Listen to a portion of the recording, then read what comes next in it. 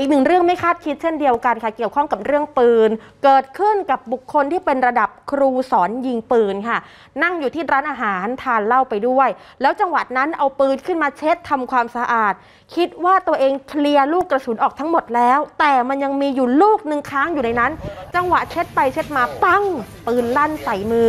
มือเกือบขาดเลือดไหลอาบค่ะคุณผู้ชม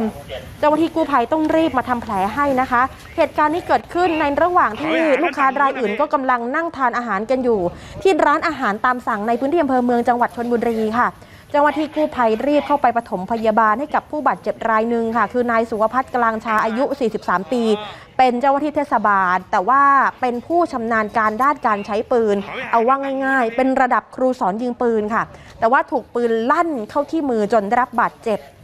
กู้ภัยเนี่ยต้องรีบปฐมพยาบาลให้แล้วพาแกส่งรักษาต่อ กับโรงพยาบาลนะคะ เพราะว่าอาการหนักพอสมควรเหมือนกัน ทีนี้ลูกค้าที่เขาเห็นเหตุการณ์ค่ะ เป็นลูกค้าโต๊ะอื่น คุณธีรวุฒิเล่าให้ฟังนะคะว่า เห็นคนเจ็บเขานั่งดื่มเหล้ากับเพื่อนเขา แล้วเหมือนเขาเอาปืนมาเช็ดไปเช็ดมาเพื่อทำความสะอาด เอาจริงผมเห็นเขาเช็ดปืนผมก็ยังกลัวๆตกใจเลย สักพักได้ยินเสียงดังปัง แล้วเขาก็ร้องโอ้ยปืนลั่นปืนลั่นไม่น่าเลย เป็นถึงระดับครูไม่น่าพลาดได้ ผมหันไปเห็นอุ้ยเลือดไหลอาบเต็มมือเลยสักพักหนึ่งเจ้าหน้าที่กู้ภัยก็มา คุณผู้ชมคะขนาดเจ้าหน้าที่กู้ภัยที่เขาเข้าไปช่วยทำแผลให้อะเขายังตกใจกับเหตุการณ์ที่เกิดขึ้นเลย เราคุยกับอีกคนนึงค่ะ คุณธีรพงษ์แซ่ลิ้มเป็นกู้ภัยที่ไปทำแผลให้ คุณธีรพงษ์บอกว่าพอไปถึง คนเจ็บร้องโอดโอยด้วยความเจ็บปวดเจ็บถึงขั้นว่าหันมาให้สัมภาษณ์ให้ข้อมูลกับนักข่าวไม่ไหวแล้ว เดินเอามืออีกข้างหนึ่งกุมมือที่เลือดไหลอยู่ตลอด ส่วนปืนที่มันลั่นใส่นะมันเป็นปืนจุดสามแปด นมีกระสุนเนี่ยเจาะค้างเข้าไปที่มือด้วย โอ้โหคือกระสุนยังเจาะอยู่ที่มืออ๋อติดอยู่ที่มืออยู่เลย เบื้องต้นถามจากผู้บาดเจ็บเขาบอกว่าเขาเอาปืนมาเช็ดทำความสะอาด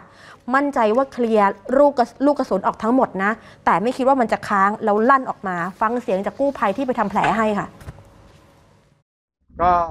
ร้องโอดโอยเจ็บปวดที่มือด้านขวา ก็คือว่ามีสติอะไรรู้เรื่อง มีสติรู้เรื่องครับตอบรู้เรื่องครับ เขามีบาดแผลตรงไหนบ้างครับอ่าด้านขวามือด้านขวาช่วงบน เป็นเป็นแผลไงครับเป็นแผลรอยเจาะครับก็คือว่าเจาะลงไปเลยใช่ครับผมแต่ถูกแต่อะไรครับ แต่ไม่ทะลุนะ เหตุการณ์ที่เกิดขึ้นเนี่ยแกเป็นระดับครูสอนยิงปืน แต่ว่าครับ มันคงเป็นอุบัติเหตุอะค่ะที่ไม่คาดคิดจริง ๆ แล้วก็ตอนนั้นน่ะคงจะไม่รู้ว่ามันมีกระสุนค้างอยู่ในปืน เหตุการณ์ที่เกิดขึ้นแม้ว่าจะพาตัวส่งรักษาที่โรงนี่นี่ภาพฝั่งซ้าย เป็นภาพตอนที่ซ้อมยิงปืนค่ะ เพราะว่าแกเป็นครูสอน เออ เหตุการณ์ที่เกิดขึ้นนี้ตำรวจเนี่ยจะเชิญตัวคนเจ็บมาสอบสวนอีกครั้งหนึ่งนะคะ เกี่ยวกับเรื่องพรบอาวุธปืน ว่าปืนที่เอามาเช็ดแล้วมันปั้งขึ้นมาเนี่ยมีใบอนุญาตไหม นอกจากใบอนุญาตในการครอบครองแล้วใบอนุญาตในการพกปืนไปในที่สาธารณะมีหรือเปล่า มันต้องแยกกัน อืม ทีนี้เรื่องมันบานปลายไปถึงร้านอาหาร ตรงที่ว่าพอเกิดเรื่องขึ้นตำรวจไปตรวจ นอกจากเรื่องปืนแล้วใช่ไหมคะทำไมพอไปฮะตรวจร้านอาหารปรากฏว่าเอ้าร้าน มีความผิดไปด้วยเลยเออเพราะว่าจำหน่ายสุราโดยที่ไม่ได้รับเอ้าอนุญาตโอ้โหซวยไปด้วยโดนไปด้วยเลยค่ะ เออแต่ประเด็นคือเขาบอกว่าแกดื่มด้วยอืมเลยไม่รู้ว่าด้วยความเมาค่ะหรือเปล่า แล้วถ้าเป็นระดับครูสอนยิงปืนเนี่ยจริง ๆ แล้วเรื่องการเคลียร์ลูกกระสุนอืม ก่อนที่จะเอาปืนมาเล่นมาล้างเนี่ย มันก็ไม่ควรจะพลาด แล้วตอนนั้นน่ะในร้านอาหารในที่สาธารณะแขกโต๊ะอื่นก็นั่งกินข้าวกันอยู่ ใช่ เขาเห็นเขาก็ตกใจเหมือนกันนะเออแล้วถามว่ามันมันเหมาะไหมเอาปืนมานั่งล้างอยู่ที่ร้านอืมอาหารเนี่ย คนอื่นเขาก็กลัว เออ นะฮะ ฝากติดตามข่าวเที่ยงอมรินทีวีทุกวัน ตั้งแต่เวลา 11 นาฬิกาเป็นต้นไปทางอมรินทีวี HD ช่อง 34 ที่นี่ที่เดียวครับ